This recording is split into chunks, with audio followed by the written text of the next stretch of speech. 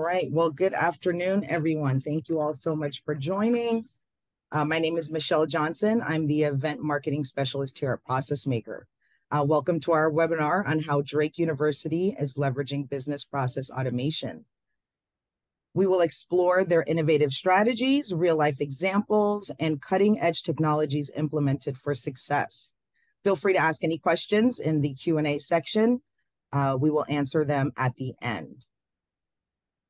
So today's speakers are uh, Tyler Spoon. He is the esteemed Assistant Director of Enterprise Applications at Drake University. He'll be sharing his expertise on how Drake is leveraging business process automation. We also have Greg Allworth. He is our Director of Higher Education Sales here at Process Maker. Uh, he has been working in the education tech space for eight years, and prior to that was in sales leadership at NetSuite and Oracle. First, uh, just a little background on Drake University. So Drake University is recognized as one of the finest universities in the Midwest. As a mid-sized private university in Des Moines, Iowa, Drake offers students the benefits and resources of a larger institution with the advantages of intimate class sizes and close personal relationships. Now, just a little bit about Process Maker. Uh, so Process Maker for Higher Education helps colleges and universities improve the student experience through automating manual and paper-based processes. Campus users, such as the registrar or the admissions office, can design online forms and add sophisticated automation and workflows using our simple process designer and screen builder. Process Maker works with all student information systems and financial systems and makes the flow of data across the campus seamless. Over to you, Greg. Take it away. Hi, good afternoon, everyone in uh, and I guess in Eastern, Central, and Mountain Time. Good morning, still uh, to anyone who's joining in Pacific Time or potentially internationally. Uh, my name is Greg Allworth, and uh, I'm thrilled to be here today interviewing Tyler Spoon from uh, Drake University, and also welcoming uh, Drake's mascot Griff behind him over his shoulder there. So it's it's nice to have both of you on today. Tyler, welcome. Thank you. Thank you very much. Very happy to be here. Great. So, just to give everybody a little sense of what we're going to go through today, uh, Tyler and I are going to spend a little time talking about Drake University, their use of their history with business process automation, their history with Process Maker, and uh, and kind of where they've gotten to with um, around automating processes and some of the value they've seen within within their institution. We're going to um, going to take a, a, little bit to do that, probably the first sort of third of, of our conversation today. And then we're really lucky is Tyler's agreed to sort of take over the uh, the the webinar and sh- walk us through so one of the uh, the really really interesting processes that they've built and talk about some of the different challenge some of the different opportunities, challenges, and benefits they've seen from that. So um, I'm really excited about uh, about that part of our conversation today. We've got we're going to have lots of time for questions. So please ask questions as you um, you can put questions in the chat. You can put questions in the Q and A button. You can hold on until the end because we'll save some time for questions. But we want to make sure that uh, if you have questions, we get them answered, and we should have lots of time to do that today. With um, you know, we're going to be talking about the Process Maker business process automation platform today, if you happen to live in the Ellucian world, you may know that product uh, as Ellucian Workflow.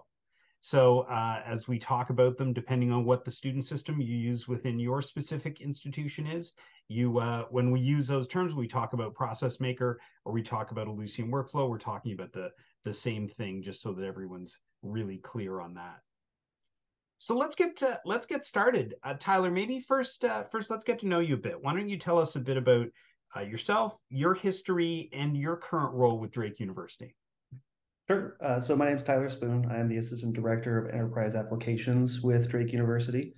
Um, I have been in my current role for uh, about three years. Uh, so I run a, a, team of nine, and it's a mixture of database administrators, developers, and application admins um, that support a vast number of applications that that Drake uses. The biggest one being the Banner ERP from Ellucian, as you mentioned earlier, Greg. Um, so we are we're very deeply integrated with that Banner system, and we're looking to even branch out and integrate with other systems. Um, so my my role is a lot of directing those people, but also utilizing Process Maker to figure out how to uh, integrate all of the various products that we have into a single business process tool. That's great. So, um, uh, you mentioned a little bit about you touched a little bit on your technology infrastructure as a as a banner school, but maybe you could give us a little bigger picture of what sort of the the total technology orchestra architecture looks like within Drake and and a little bit of Drake's philosophy towards uh, technology and uh, on on campus and and interacting with the students. Sure. Well, uh, so early on, like with most schools, we were just purchasing applications left and right just to just to fill in all the holes that our main ERP didn't fill in the greatest. Um, I think we've matured enough now to realize that that was sort of a mistake, and now we have all these separate silos, and things happen in one system, and another system doesn't know about it, and even people using the same system don't know that things are happening that they should. So, um, an example uh, is using a separate admissions program from Banner or a separate housing system from Banner. Um, using some of those, and we get we just get lost in translation sometimes. So one thing that we're looking to do is kind of bridge that gap and figure out how do we how do we trigger off of things that happen in one system and make them populate into another.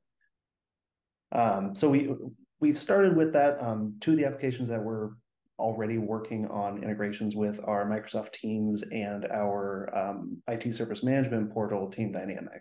So I'll be able to, we're, we're already starting to integrate some of that with Process Maker. Right. So how did um, how did Drake first get involved with Process Maker? So we first got involved with Process Maker because, um, well, to be totally frank, I got tired of Banner Workflow. Um, Banner Workflow is an archaic um, business process automation tool that is just incredibly difficult to work with. If there are any other banner schools on here that are still using banner workflow, uh, my sympathies. We are almost out of the woods with with that one. Um, so we we really wanted to look for a tool that could work with more than just Banner. Banner workflow was very limited. You can only use it with Banner, and that was it. It didn't really look outwards unless you're creating custom scripts. Um, and then you know getting all the necessary firewall stuff in place, be able to let it speak out and all that. Um, so we wanted to find something that would allow us to integrate disparate systems. Doesn't have to necessarily be Banner, but be able to integrate between them, but also be user friendly enough that my team wasn't on the hook for developing every single business process. Um, so we evaluated a, a, ton of different tools from the easiest ones are just, you know, drag and drop, create a screen and throw it out there to the super difficult ones where there's no way I could expect anyone outside of IT to be able to use it. Uh, basically, you're scripting every single step. Process Maker seems to be able to uh, honestly be able to do either one of those if you wanted to, but at its base, it's a nice uh, mixture of both where it's easy enough that I feel comfortable giving it to a non-technical person to at least develop the base process, but then be able to make it uh, complex enough that IT can step in and do some custom scripting or some custom stuff to be able to make it do exactly what we want it to do. That's great. So uh, when you once you had selected Process Maker, kind of what did you do to get started? Where did you where were the the first places that you started to look at automation and and can you talk to us a little bit about how you sort of started to dip your toe and and get into using the system? Yeah. So first off, when we started, Process Maker has been a fantastic partner. Um, they gave us, uh, I believe, a full year of professional services where we were meeting with uh, one of the Process Maker developers on a weekly basis and just talking through the issues that we were having, uh, getting some one-on-one training with them. Um, we were one of the early adopters of Process Maker for us. That might be one of the reasons why, but um, but it was it was fantastic to be able to partner with you guys to kind of get us off the ground and running. Um, the very first stuff that we focused on was more of a digitization um, movement rather rather than automation. So we took some paper forms that we have and just moved them into Process Maker. There was still no integration, there was no scripting, anything like that. But we were at least digitizing some of our paper forms and getting them moving around in the technological space as opposed to the physical space.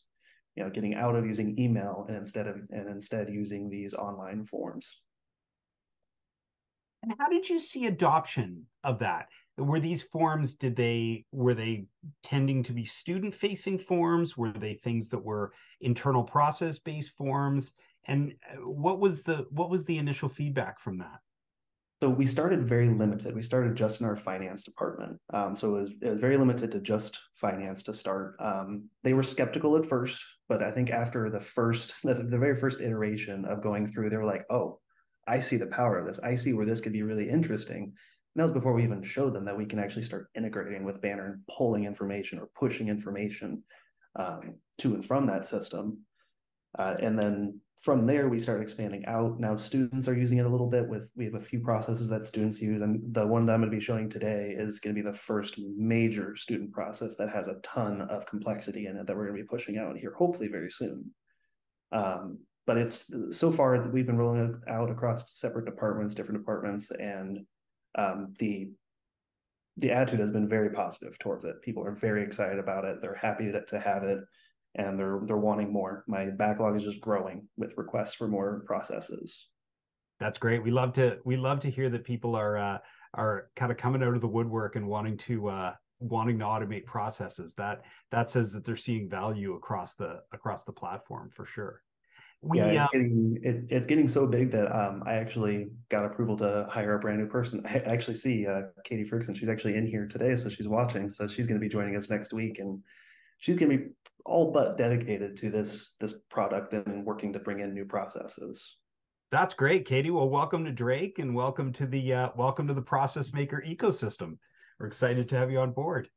Um, when you think of so, uh, you know, when I think of of higher ed in general, tends to be a place where there's a little bit of, um, you know, there are some silos built across or across institutions. Different departments tend to work independently. Um, you know, it's kind of higher ed's a, designed a little bit a little bit like that.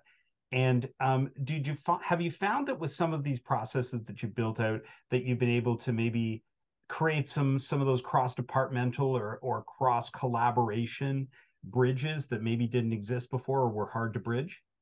We're just starting to, to tap on that, yeah. Um, so we we do have one process that really goes across boundaries, um, but it's it's used by it's only used by two departments, so it's not it's not hugely cross departmental.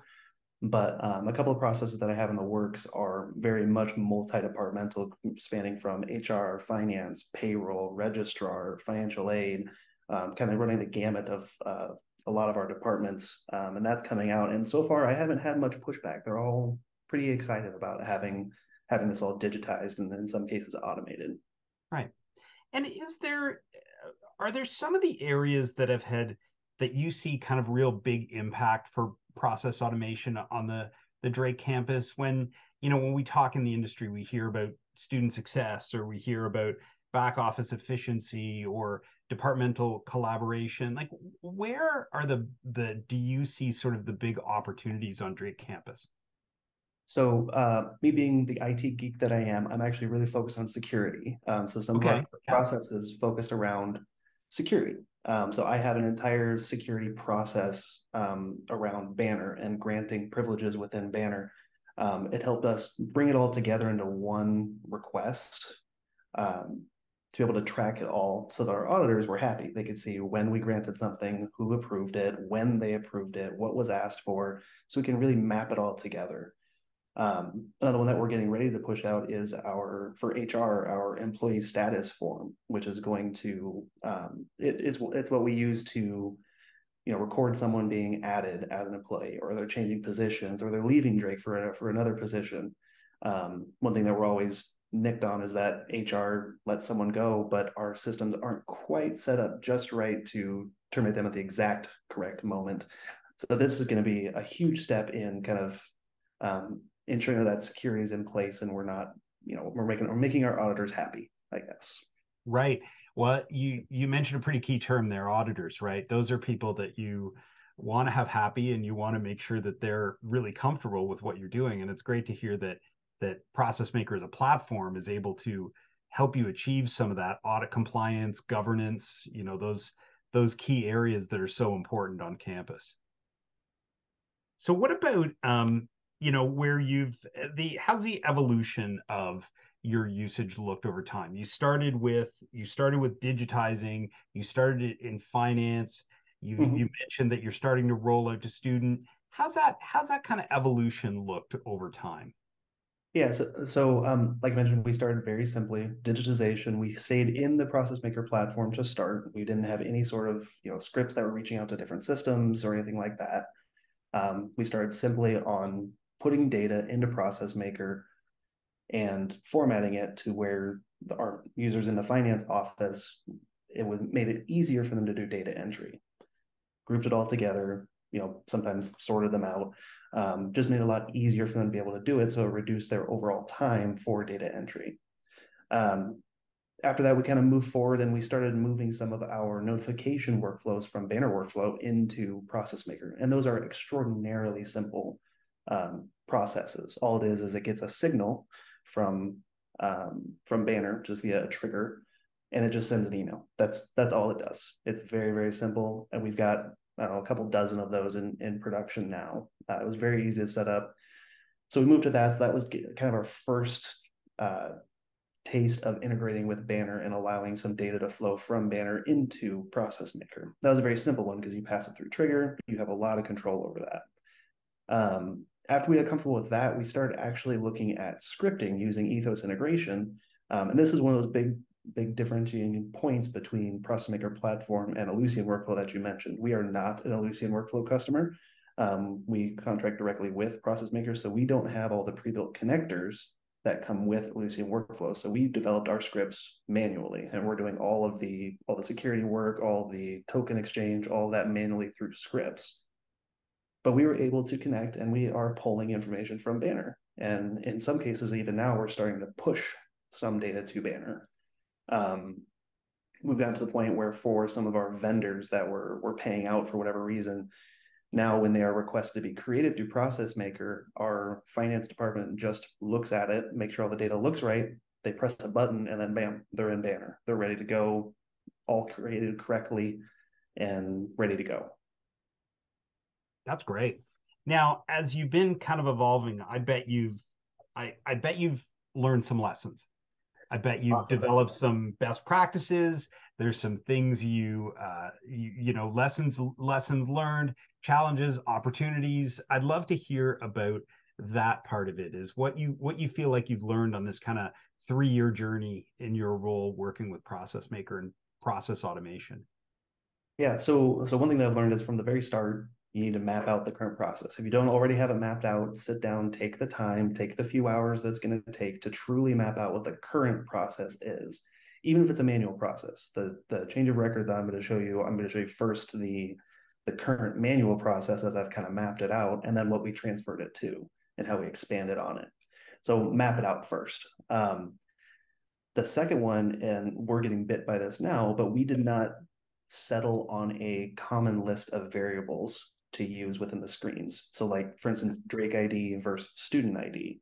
Now, when you use different variable names, it's hard to reuse screens or reuse scripts. So settling on some very common variables to use, or even just a, um, uh, what's the word I'm looking for, format, a variable format to use, or using underscores or using camel case, things like that. I, I wish we would have set that early on instead of so late in the process like we are now.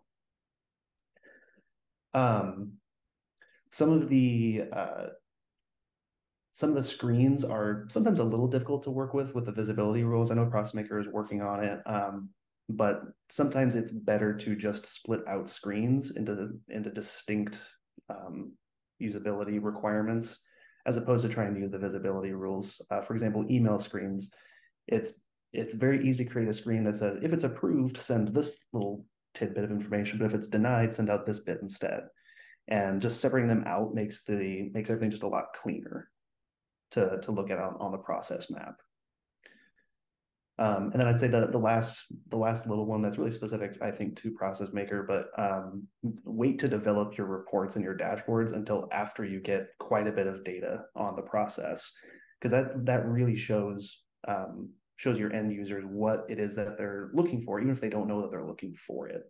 Uh, we're starting to see that now with some of our processes where they're coming back and saying, well, we didn't realize that this type of data was even available. So can we start looking at this? And with Process Maker, you can report on any piece of data that's part of the process. So the answer is yes. Right. That's great. Those are some really good. Uh, those are some really good points. I think you're, you know, it's clear how deep you are into the into the platform and kind of really understand it. And we're we're all really kind of benefiting from your your experience with that. I'll ask you one last question before we kind of transition over and get you to do some show and tell for us. But have there been some real specific or or benefits that you've seen on campus or um, value that you've that that you think the the university has received from using process maker or kudos that you've heard from um, you know people uh, people in the organization what's kind of what's kind of been the feedback and the and the value of using the pro, the uh, the system. Yeah so i'll uh back to the the finance uh, vendor piece that i was talking about earlier that was one of our first complex projects that we went forward with. Um, at first they were very hesitant to do it and they weren't a fan of having to do things through this form now instead of just letting someone email them and and just have the information there and just enter them but the administration within finance really liked the ability to go back and look at when was that requested who requested it what was the reason for it where was the supporting documentation to say yes we should add this person. Um, and then after a while when we started proving that we can integrate with banner and make their lives easier instead of just making it different um, finance really started to uh, really started to come around and eventually ended up singing the praises of process maker to our university president. Um, I uh, I believe that they have said that on a general week, um, or in a general month, excuse me, doing vendors, they typically spent about 20 hours creating vendors or updating vendor information, something like that. Um, this process cuts it down to less than an hour per week or per month, excuse me, less than an hour per month of doing that same work. Wow, saved virtually saved somewhere around 19 hours a yep. week of time. That's that's really something. That's that's great feedback. Thanks for sharing. Well, with that, I think what uh, I think what most of the people on this call will want to see is they want to uh, they want to get under the covers and see a little bit about uh, about how you're using the system and things you've built. So I'm going sure. to turn it over to you and let you uh, let you walk us through one of the really interesting processes that you've built out. Sure. Okay. So the the process that I, am going to show, um, it's still in development, so bear with me if it's not the prettiest yet. Um, but it's it's a super complex one that I'm I'm super excited to get launched, and it's our change of record. Um, this process is going to allow a student to submit um, to the registrar to have their field of study or something about their academic record change. They're adding a major, minor, they're dropping one. Um, they want to move their graduation date out another year or move it a little closer. They, they, they want to change something about their academic record. Um, and it's an extraordinarily manual process that they do it now. Um, sorry, Greg, can you let me know when you can see my screen? Yeah, we can see it great. Excellent. Perfect. Okay. So, so this is their process that they have as of now. This is a completely manual process. Anything with the little hand here, it's all manual. Um, so the very first thing we do already have an online form. So this isn't a, a digitization movement. This is truly is a modernization and an automation movement. Um, so they submit an online form and then an email goes to the registrar. From that moment on, technology is mostly out of it. They track things through Excel spreadsheets and their email inbox not a great not a great look for that. So they first review it and they have a whole bunch of rules that they go through to decide should this be auto approved or do we need some additional input? If it could be auto approved great they make the change they email the student they manually figure out what departments need notification about it and they email those departments. If it's not auto approved they have to go and identify what college or school that student is part of or that they're requesting access to through a, a, a, new field of study or you know dropping something adding honors something along those lines. And they have to email that school and then wait for them. So they email the school and they wait and they wait and they check every so often. Is the response received no? Okay great. Email them again. Figure it out. Wait for it anything yet? No? Okay go back. Do it again. It could take quite a long time and they're doing all this manually. So they're having to check this uh, you know every day every other day to look and then once it finally is approved or denied, then you know they follow the same steps. If it's denied, they email the student. If it's if it's approved, then great, they go do all this line over here again. They did 850 requests in spring of 2023, and it took them 70.8 hours to do all of those requests. So this is a very hands-on, heavy work process to do them. Um, it's worth noting that of these 850, about 600 of them came in within the span of 30 days. Um, right. I was going to ask a little bit about what the kind of elapsed time frame of this all hap- happening. That's you pretty much would have someone dedicated full time to this to this process during that period of time. Pretty close, yeah, yeah. Um, our registrar has said that she's excited for this particular process to come because she's hoping that it will free up quite a bit of uh, her person's time to work on other things that still need to get done. Yeah, um, as we have in most higher ed institutions, the you know the work doesn't get moved to someone else; it just waits for you to have more time. It just keeps piling up. Right. So th- this is our current process.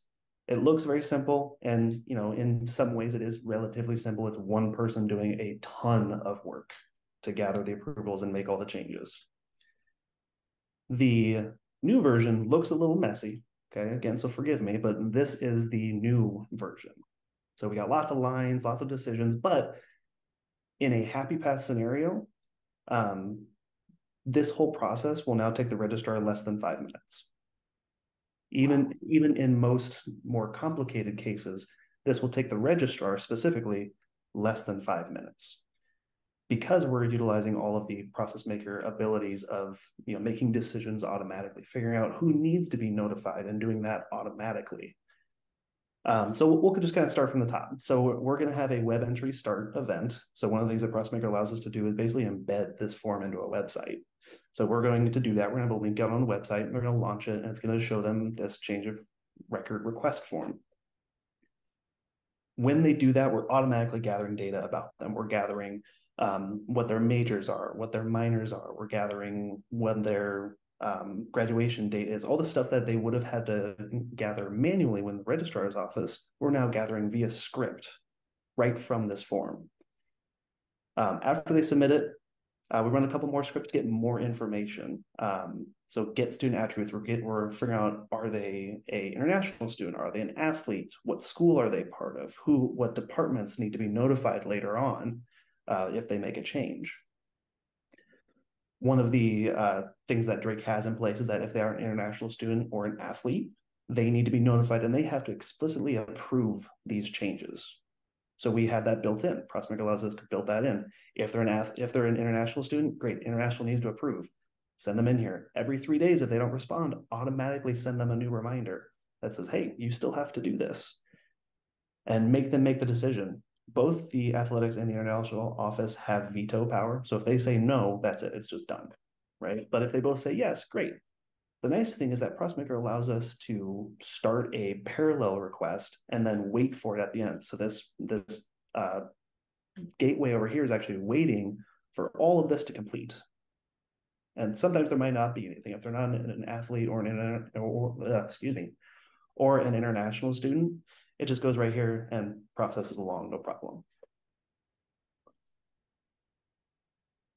Move down a little bit. So now we're getting now we're getting into the meat of the the whole process. So the nice thing is that if they're updating their catalog term, you know, basically when they're effectively saying this is when I am truly starting my major or my program, um, they can update that. They can drop a field of study without much approval. They can update the graduation term without much approval other than from the registrar. Um, if they're adding or dropping honors, okay, we have a manual task.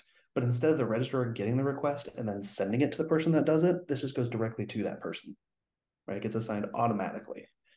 Um, this is where the real power is coming in, is when they're adding. So I, I, have I have three sections here. I've got one for majors, one for minors, and then one for uh, basically interests for tracks or concentrations. And they're all the same. So I'm only going to go through just the majors because they, they all follow the exact same steps. Right. Um, well, we go in and we gather more information about the major that they're wanting to add. And then we use one of Processmaker's new tools called uh, decision tables. And this is really what the registrar is doing manually right now. If we open this up, it's basically a giant if statement, right? So we have a whole bunch of conditions in here that we say is either automatically denied, some of them are automatically approved, some of them just need some additional approval. So for example, if I'm if I'm adding an art history major and my GPA is less than 2.5, auto deny. It's just not going to happen. The registrar doesn't even have to know about this. They, they don't do this decision here, but they have the ability to update this table and add these rules on their own without any help from IT. They have a link to be able to get in here and update it and add their own um, add their own requirements for each of these. Yeah, I imagine if you've got some familiarity with Excel, this would you know this would seem pretty standard for you. Absolutely. And it's uh, like I said earlier, it's a giant if statement. So instead of having 17 or 20 uh, gateways to say, okay, if it's one of these, then do this. If it's one of these, then do this. We just have it all laid out right here. And we just return a very simple, either I call this a route that it's going to follow, and then the decision. So in this case, you know, uh, this ELED major, if you're under 2.5, deny it. And then this GPA SOE has a special email that gets sent out as, as a result or if you're adding music ed, music education as a major, okay, great. Well, this one needs some additional approval. So I'm going to send it to the additional approval arts and sciences route that I'm going to follow. And all this returns just right back to the process and allows me to use it at this gateway to decide where do we go next. Okay, if I need to get more approvers, great let's go figure out who's supposed to approve for this major. I have a collection, which again is just another table within Process Maker that my script is reaching into and figuring out who am I supposed to assign this particular issue to, and then automatically assign that task. Again, from the registrar's point of view, they know nothing about this process at this point. They have not been involved yet. This is all prior to the registrar even being notified, which is not the way it is today. So it does that for majors, minors, and our concentrations that we call tracks. Um, it does it for all three of those categories, and it will sit here and wait until all of the additions have been processed, till they get a vote on every single addition that the student said they wanted to add. And then we send a summary, we, we generate a PDF of the decisions, and we send a summary to the student. And we move back up the process. And again, we have another sync here where we're actually waiting for every single piece that they could do on the change of record. They can do one or all of these. Um, every single piece has to get to this point first before we progress. So we're waiting here before we bombard the registrar with a bunch of requests. Right. Once it all comes in, then it comes up. The registrar has a review. They do it all in one step. They're already told right there and then what needs to be done, what needs to be changed, who needs to be changed, and what needs to be added or removed and then they're done. So they have just this one step now. All the information is at their fingertips and they just move forward through it. And then we create a summary. We figure out who we're supposed to notify again, looking at those departments. And then we send out that completed email to all those departments automatically. Registrar isn't telling us who we need to notify. Right. We're just doing it through Process Maker. So, so you've taken a process where the very first thing that would happen is it would go to the registrar who would have to make a series of decisions about how to pro- how to move that request forward based effectively on probably you know some uh, you know institutional rules but also what's in their head probably yep. you know you know local knowledge that they have and then and that would then kick off a process that they would have to really manage through um, through virtually every step to a process that if there is no real decisions required within it if it follows as you called it i love that term the happy path it's just going to go and and make all those changes. And the and the registrar is going to see that at the very end as a really as a an FYI knowing that the system has made the changes it uh, it needs to and that that student is now on their way to graduating in a in a new program. Yeah. So one one asterisk, I'm not quite to that automation step yet. I'm, yeah. I'm almost there, but I'm I'm not quite there. So the registrar is still doing the manual tasks, but all the information that they're going to need is already right there. They don't have to go out and look for any of it. It's right. all there. They get all the approvals. They have all the information already. They right. don't have to go out and do anything anymore. They just do it when they get the email. It's done. Sure. Yeah.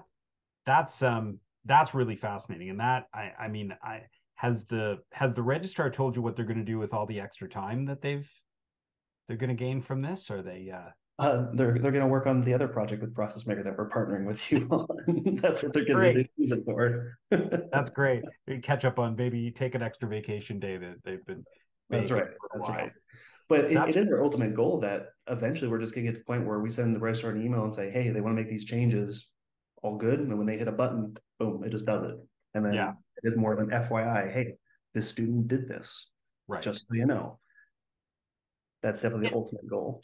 And for some of the real key decision points here, like international students or athletes, or you know those those key points where you've got um, you know you've got prerequisites for moving over into different different types of, of programs, you know, there you you really eliminate anyone slipping through the cracks or uh, an uh, an error being made that potentially you have to create an exception for, or you have to go back and tell a student that maybe you know they they in fact couldn't do something. So I think that's a um, that's a real benefit too. Is it it takes there's a bunch of different areas here where there could be potential for those sort of edge cases or or exceptions, and you want to make sure that you you get those out of the process as well. Yeah, absolutely. And, and Processmaker has allowed us to leverage a lot of those exceptions. One thing I didn't I didn't really pull up when I was looking at down here, but um, they do have these boundary events that allow you to say, hey, if there's an error, follow this route instead. So that's why yeah. if there's an error with the major table, the major decision table, for whatever reason, something goes wrong in the decision table, can't figure out what to return, it throws an error. Instead, this is when our registrar would step in and make a manual decision on, okay, what are we supposed to do with this particular thing? Right. It's not just stuck in no person's land. It's uh it's there's actually a an, an action to correct that to correct that error and then keep the process moving forward. Exactly. Wow. Well, this is great. When do you uh when do you anticipate going live?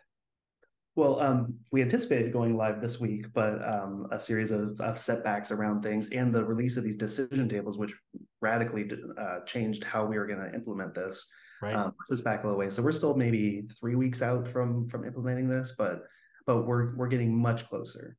Wow.